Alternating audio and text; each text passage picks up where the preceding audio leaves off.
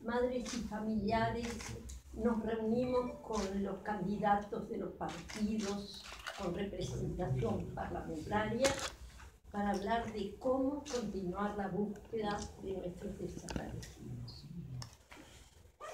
Decidimos dar este paso en medio de una contienda electoral en la que todos los candidatos expresaron públicamente su compromiso de continuar dicha búsqueda, haciéndose eco de esa mayoría insoslayable de casi un 75% de uruguayos que opinan que la misma debe continuar. Para nosotros esta búsqueda es de todos y esa responsabilidad del Estado, conducirla y concretarla, es la responsabilidad del Estado. Agradecemos a las fórmulas de cada partido su disposición para concurrir a estas reuniones en la etapa final de una ajetreada campaña. La franqueza con que se abordó los temas planteados y el respeto con que escucharon otros temas y reclamos inherentes a nuestra lucha. Como resultado de estas reuniones, podemos concluir que hubo coincidencia en dos temas fundamentales. Uno, en continuar la búsqueda de todos nuestros desaparecidos. Y dos, en respaldar la nueva ley votada, que asigna el cometido de investigación y búsqueda a la Institución Nacional de Derechos Humanos. Implica el compromiso de otorgar el presupuesto necesario para hacer viable la formación y actuación del equipo de investigación y búsqueda concreta, de respaldar las potestades que la ley le otorga y de impartir las directivas pertinentes para que todas las instituciones del Estado cumplan a cabalidad con la entrega de información.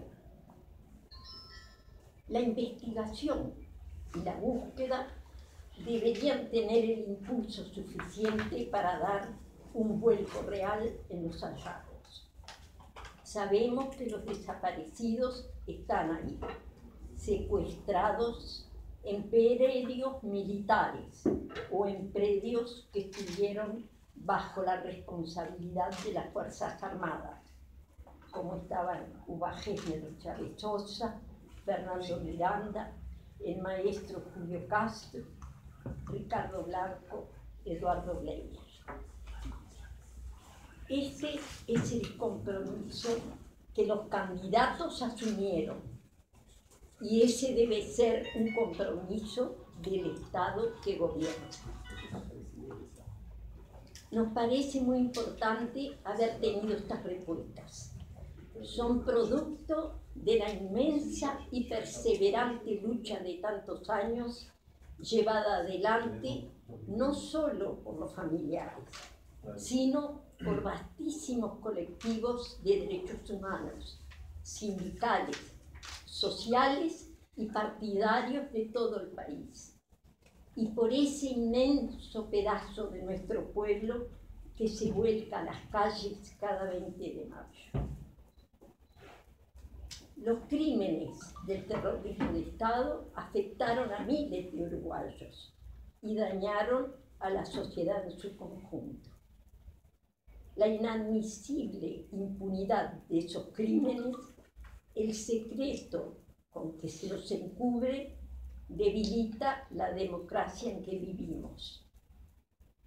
Los candidatos de los cinco partidos escucharon también nuestras motivaciones y los obstáculos principales de nuestra búsqueda.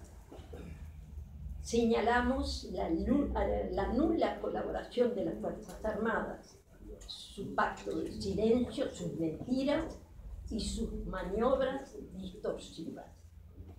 Señalamos la débil y a veces tardía intervención del Poder Ejecutivo para subordinar en todos sus términos a las Fuerzas Armadas heredadas de la dictadura.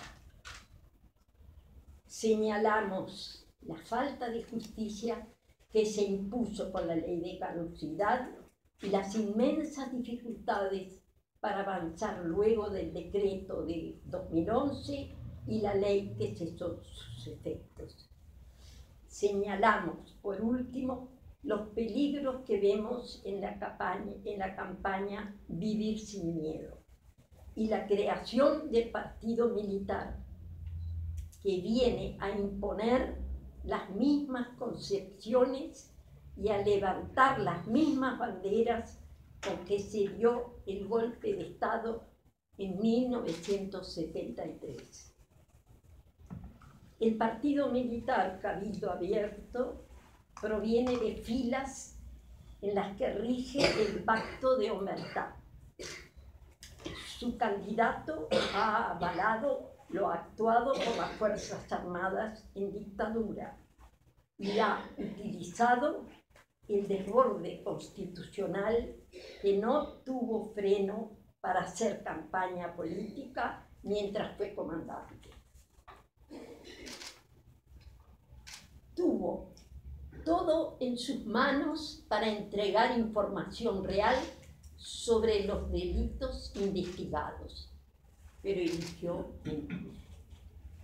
No se trata entonces de diferentes puntos de vista políticos, se trata del riesgo de hacer concesiones o establecer alianzas con un sector proclive a medidas castradoras y autoritarias en especial contra la juventud.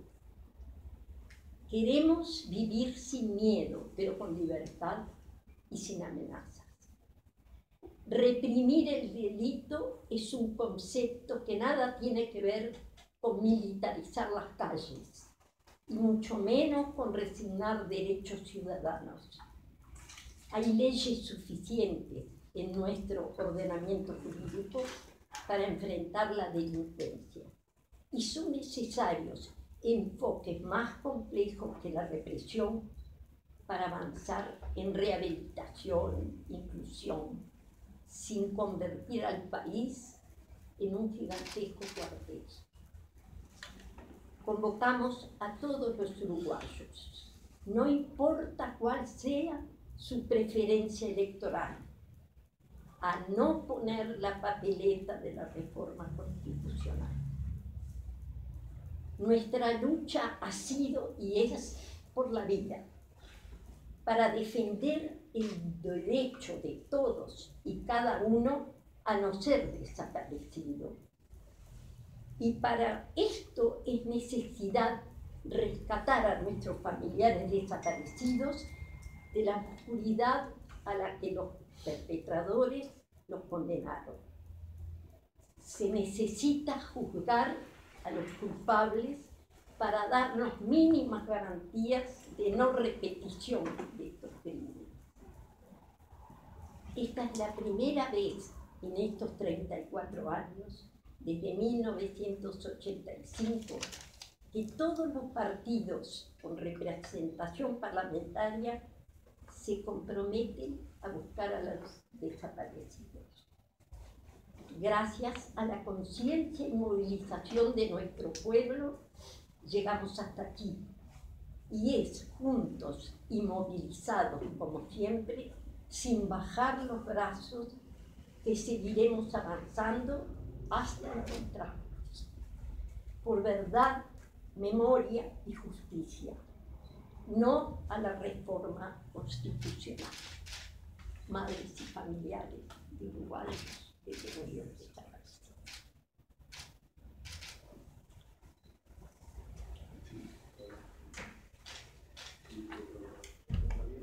quería eh, consultarles.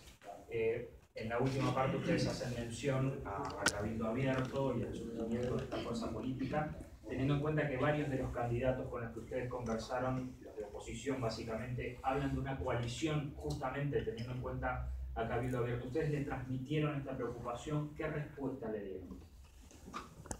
Nosotros, como decimos en el comunicado, eh, el objetivo, el objetivo del. Espera, espera. Vamos a ponerle el número. Alguien que lo corra, por favor. Cambien de lugar. Algún periodista, algún periodista. Cambien de lugar.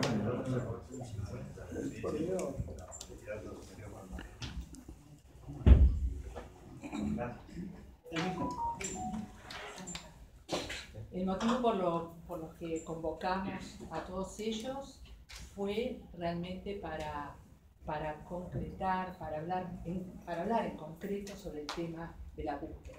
Si realmente esas declaraciones este, tenían un compromiso atrás de los pasos concretos a seguir y este, la respuesta de todos, de distinta manera, fue que sí y se las dieron a ustedes cuando salieron de, de familiares. Los otros temas nosotros los planteamos, no fue un diálogo, fue un planteo este, que quedó expuesto, que escucharon todos con mucho respeto, que quiso dialogar, dialogó, pero, pero iba a, un señalamiento que nosotros estamos haciendo a la sociedad desde hace mucho, no es nuevo, lo estamos haciendo desde que tuvimos la renuncia de Manini en el 2017 y desde antes también con, la actitud de, de las Fuerzas Armadas que no han cambiado y que este, cuajan en esto este, y, que, y que no, y hay muchos de ustedes que nos han preguntado que para nosotros no es un partido este, válido para, para esta contienda en, todos estos valores que planteamos.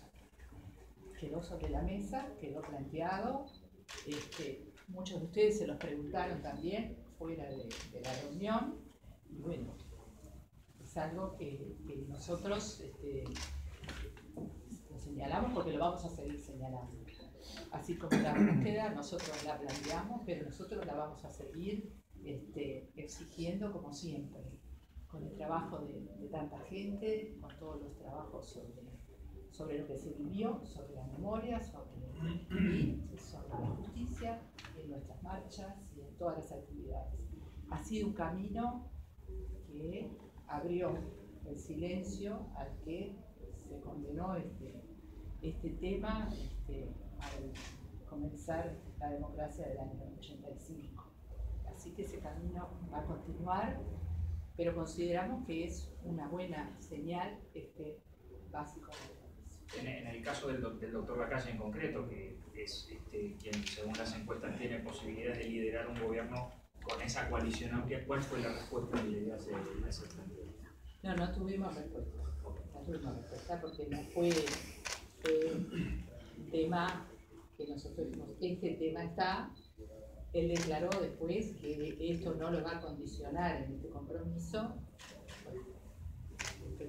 De alguna manera, la, la votación de la ley y el pasaje de, la búsqueda a la Institución Nacional de Derechos Humanos es una suerte de blindaje ante eventualmente un cambio de gobierno que determine no tener de alguna manera lo- la misma empatía hacia la búsqueda de detenidos desaparecidos, por ejemplo, el Frente Amplio. No, Sí, no, pero sí. Pero-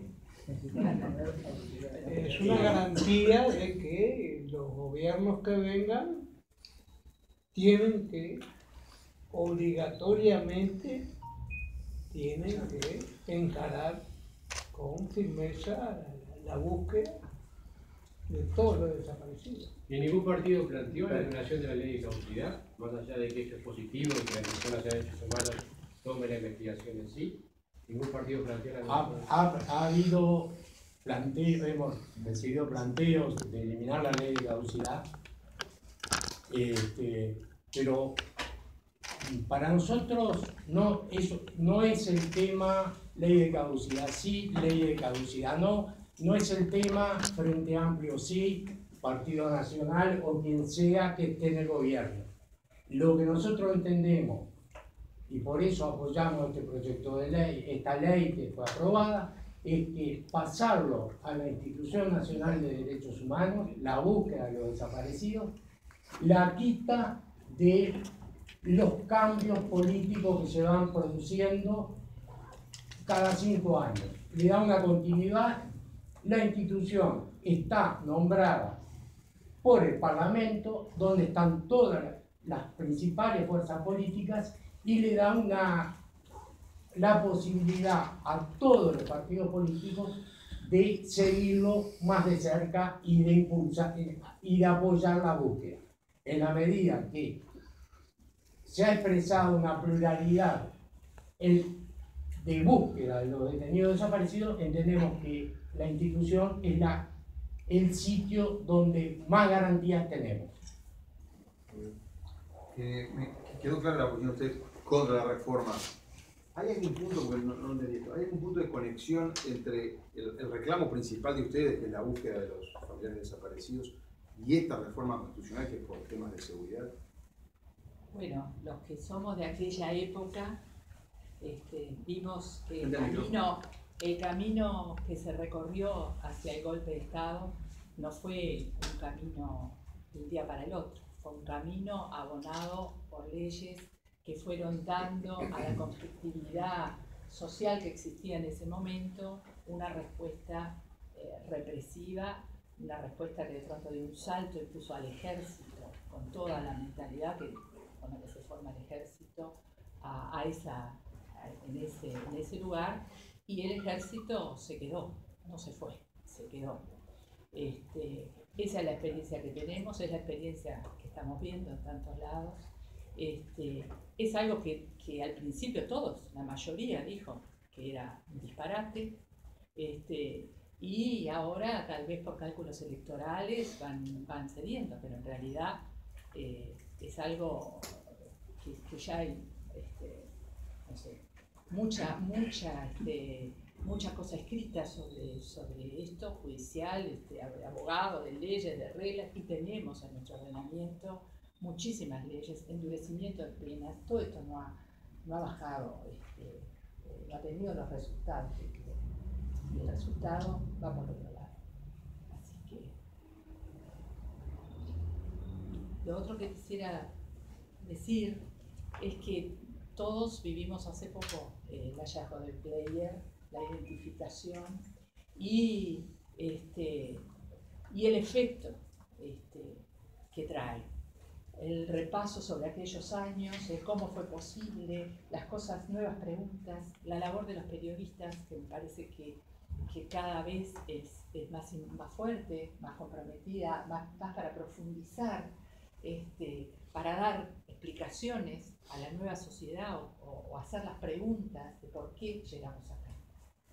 Eso viene con los, con los desaparecidos, viene con cada resto que se encuentre. Eh, va a haber una explicación más clara de lo que se vivió, en la que ustedes van a tener que participar. Y creo que la sociedad está pronta para eso, el periodismo está actuando de otra forma, más profunda, y ahora vemos que este, estos candidatos este, lo aceptan. Este, creemos que es un, un camino necesario, que va a ayudarnos a todos.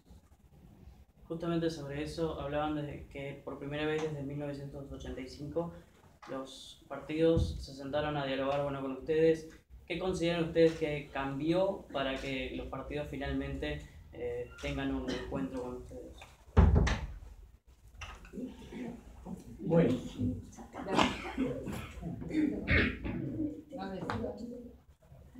Lo acabamos de decir acá. Ah, sí, claro. Está Eh, la verdad, en el 85 se discutía si había desaparecidos o no. Ha sido una larga lucha de madres y familiares y las organizaciones de derechos humanos el llegar, para llegar a la situación que estamos viviendo hoy, donde hablamos del terrorismo de Estado en todo lo que fue su política. En el, 2000, en el 85 se discutía si habían existido o no desaparecidos. 2005 se hablaba violación a los derechos humanos, igual desaparecidos. No se hablaba de los presos, no se hablaba de la tortura. Poco a poco fuimos conociendo la sociedad, todo lo que fue la barbarie del terrorismo de Estado. Y eso lleva a que hoy la inmensa mayoría de la población está de acuerdo con la búsqueda de los desaparecidos. Y bueno, eso también permea y llega a todos los partidos políticos. Es, pienso que es producto de toda esta larga lucha que hemos mantenido desde el principio por la verdad y por la justicia.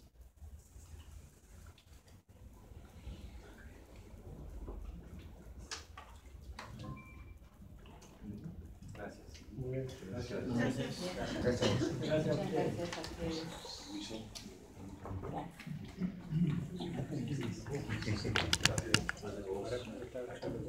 Gracias.